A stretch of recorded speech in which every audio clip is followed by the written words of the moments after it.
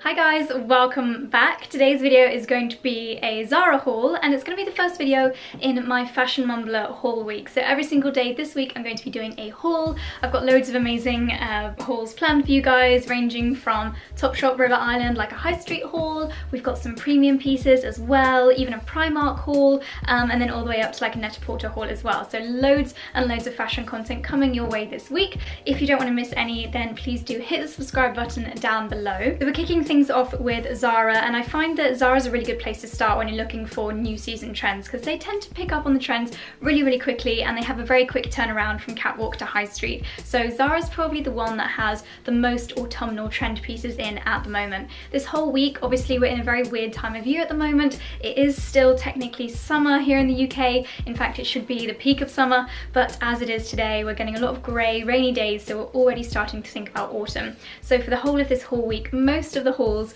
are going to be transitional pieces starting to ease us in to autumnal wear. Also before I get started just to let you know how these hauls are going to work I'm going to be doing a try on haul for every single video this week and everything that you see in all of the hauls will always be linked down in the description box below. So just click show more and you'll see not only links to where you can buy the pieces that I'm mentioning the hauls but also bits and bobs that I'm wearing, um, this jumper, this lipstick, my jewellery will all be linked down below even stuff in the background like the mirror and the rails. So any information that you want from the videos, just check in the description box. Okie dokie, so today we are kicking off haul week with Zara and I visited the Zara on Regent Street. I find that's a really good one. It has a great mix of pieces and doesn't have terribly bad customer service. Normally I just get quite angry in Zara, but that one in the Kings Road one I don't find too bad. So let's get straight stuck in there. I'll show you what I picked up. This first piece I have actually already worn and tried on um, and I featured it in the lookbook which be coming your way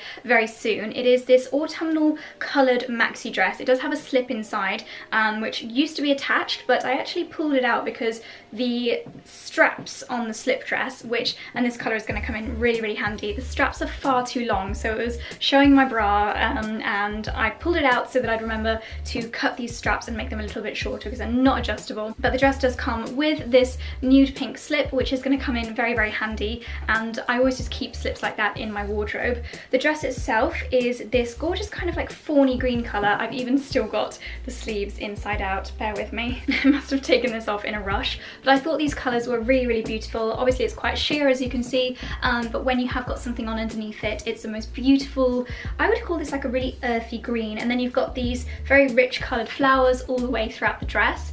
Got a cinched in waist which is created with this um, smocking effect and then you've also got the smocking on the sleeves as well. So you can either have this dress as a full length long sleeve or you could really pull them up and create a bit of a balloon um, sleeve effect which is very much in trend at the moment. Lengthwise this one comes to kind of halfway between my ankle and my knee so mid calf area which is definitely the length of the season for this autumn winter coming up.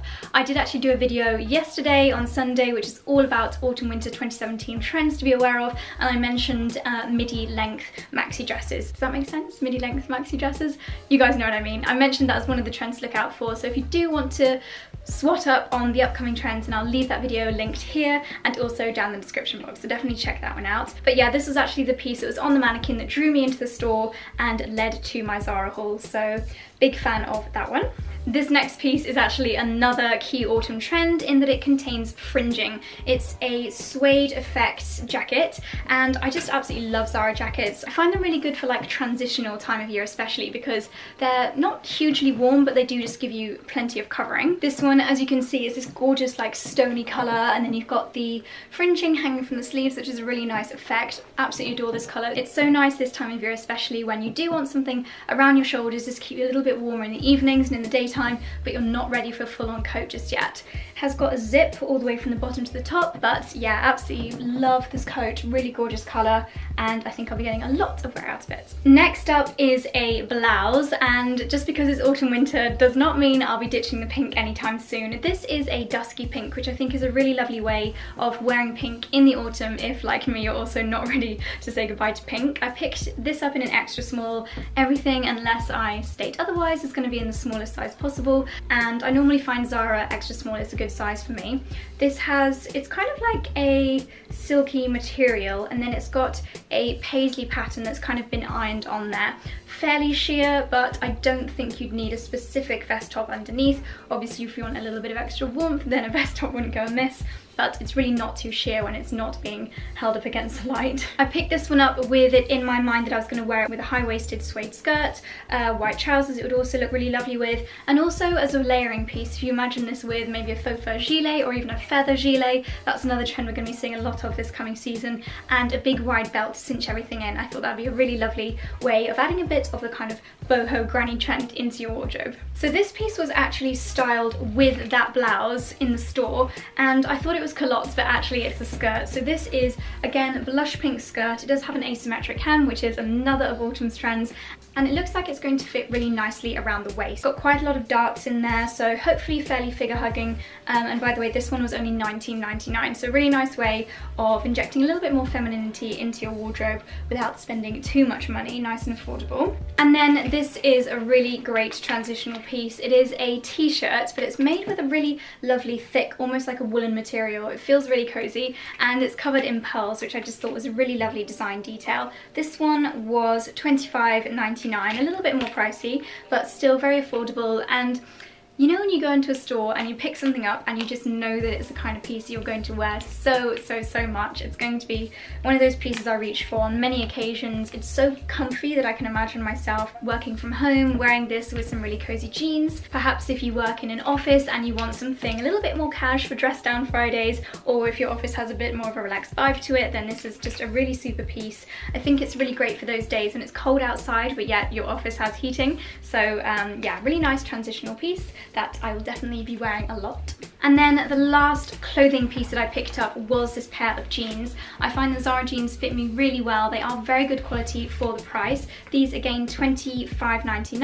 I got them in a size 34 waist and they're pretty plain jeans but then they do have quite an interesting hem and I'm really obsessed with hem detail at the moment. Hems are a really good way of um, just differentiating your jeans from the usual straight up and down. So this almost has like a double frayed hem, which I think should be a really nice design detail high-waisted as well, high-waisted skinny jeans, just never going to be going out of style.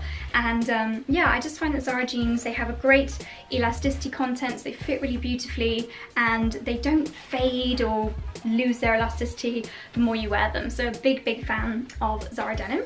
And then finally, and this is a piece I'm so, so happy with, absolutely adore these, I got this set of earrings with the little leaves on them. I say little, quite big, but they are fairly light. I always really worry about wearing anything that could be too heavy. I like to wear just like studs or small things most of the time, but I think in winter, if you have got clothing up to your neck, especially a high roll neck or a really high neck jumper like um, like something along these lines, then it's just really nice to accessorize with something on your ears, especially a statement earring, perhaps a big chunky necklace, but I'm more of an earring person than a chunky necklace person at the moment. I prefer to keep my necklaces quite delicate. So for something like this, plain jumper, very chic, and perhaps having your hair up in a chignon or a messy bun, this will just look absolutely lovely. They were also only $9.99, which I thought was really good. I think across the UK high street, you can barely get any earrings for $9.99 that are this lovely. And I think that if you told someone that these were really expensive, like from Net-a-Porter or something, they would probably believe you. So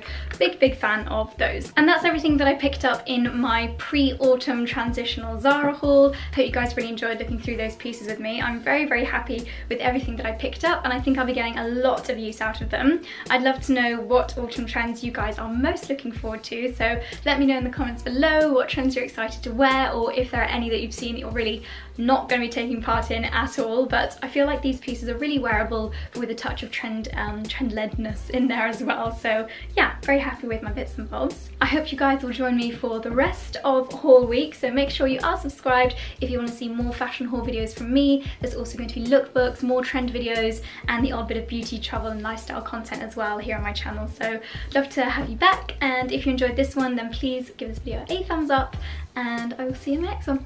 Bye!